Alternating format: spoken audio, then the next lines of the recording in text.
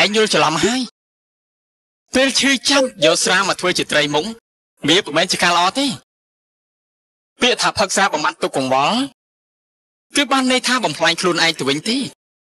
អញ្ចឹងគិតយ៉ាងម៉េច